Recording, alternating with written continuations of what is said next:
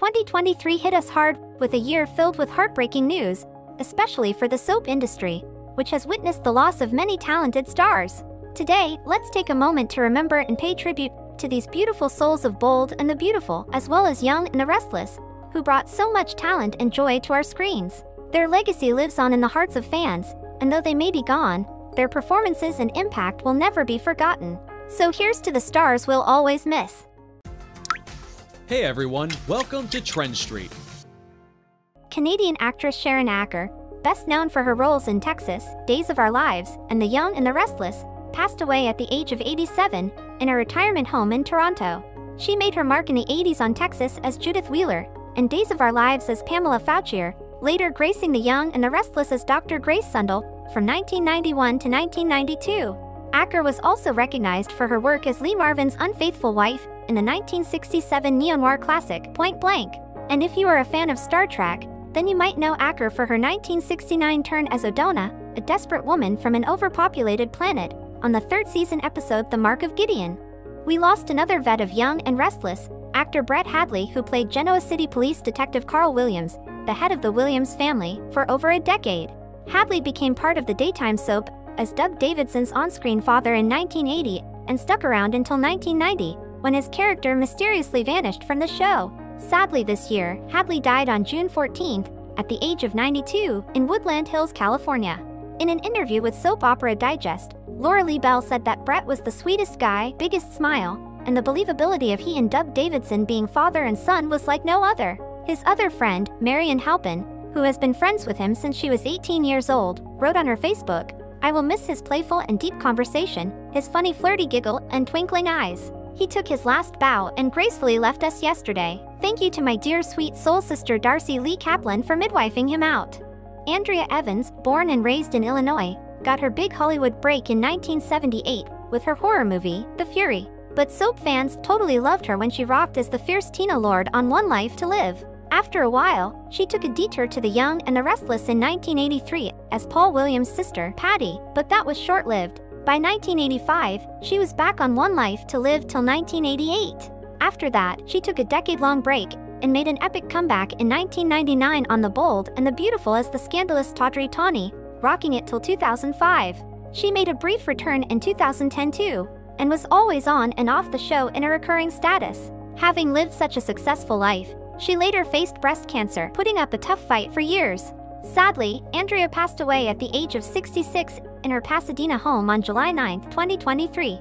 On his 77th birthday, which happened to be on July 14th, the soap opera veteran and one of the legends of soap opera, Nick Benedict, passed away due to complications from spinal surgery, which left him paralyzed from neck down.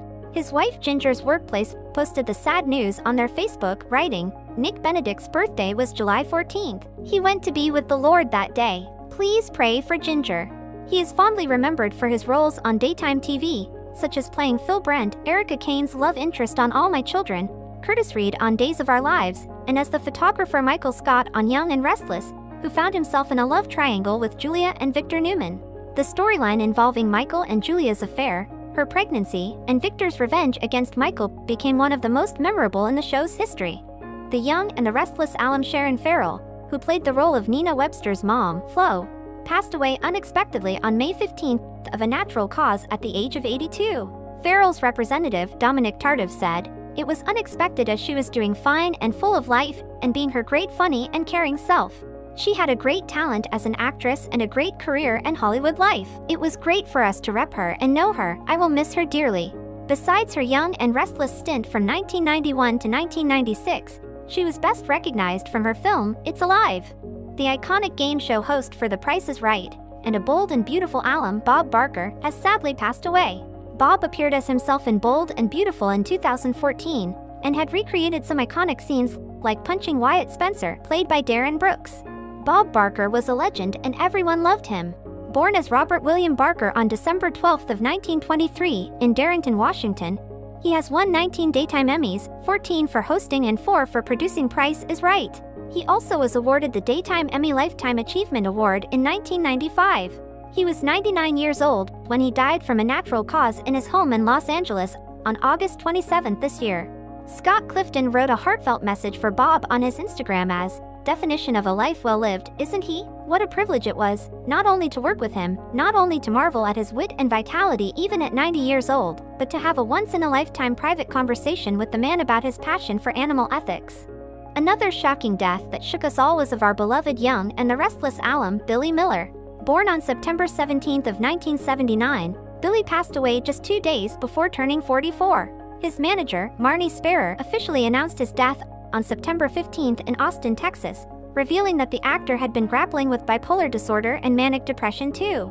Billy's soap journey kicked off in 2007 with a role in All My Children as Richie Novak. After a year there, he joined The Young and the Restless as Billy Abbott in 2008, earning three Daytime Emmy Awards and numerous nominations. Following his departure from Young and Restless, he joined General Hospital as Jason Morgan in 2014, remaining there until 2019.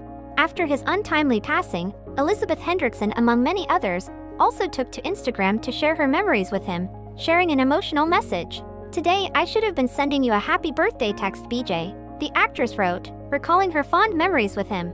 She ended her post with, I hope you know that we are all here now texting each other, sending pictures, and sharing memories of how awesome you were. This hole in my heart will never be filled. Good night, sweet Billy.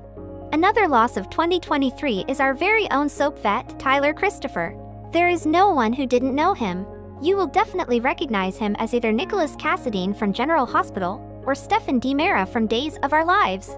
The man was so good at his job that he scored four Daytime Emmy Award nominations and took home the Outstanding Lead Actor trophy in 2016 for his role in General Hospital. Sadly, he had a lot of struggles and problems in his personal life due to his drinking problem. But while he was recovering and living a healthy life, the heartbreaking news hit us. Tyler was found dead on October 31st in his apartment at the age of 50 due to a cardiac arrest. Maurice Benard, who played Sonny on General Hospital, wrote, Tyler was a sweet soul and wonderful friend to all of those who knew him. Tyler was an advocate for better mental health and substance use treatment who openly spoke about his struggles with bipolar depression and alcohol. We are beyond devastated by the loss of our dear friend and pray for his children and his father. Lastly, we'd also like to mention another actor who might have not been in Bold and Beautiful or Young and Restless, but was a soap superstar. Ellen Holly died at Calvary Hospital in the Bronx on December 6 at the age of 92. In case you forgot, Ellen was the star of One Life to Live who played Carla Gray. She was the first black superstar slash actor to lead a daytime TV show in 1968. She was later put on a recurring status until she was fired by Paul Rauch in 1985. In 1996, she also released her autobiography, One Life, the autobiography of an African American actress, describing her life and struggles as a light skinned black actress in Hollywood. As we move on to another year, best believe we will never forget all the stars who have left us this year. They will always be remembered through their works and legacies. May they all rest in peace, and don't forget to share your love and prayers in the comments below. Thank you for checking this video out. Don't forget to hit that like button and subscribe to our channel for new videos every day. Turn that bell notification on if you want to hear from us and comment down below if you've subscribed and we'll make sure to reply and thank as many of you as we possibly can.